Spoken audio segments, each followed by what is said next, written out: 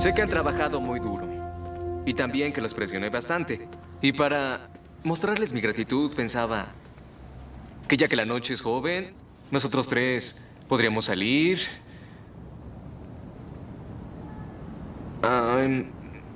Ya saben, tal vez eh, a divertirnos. Sería divertido.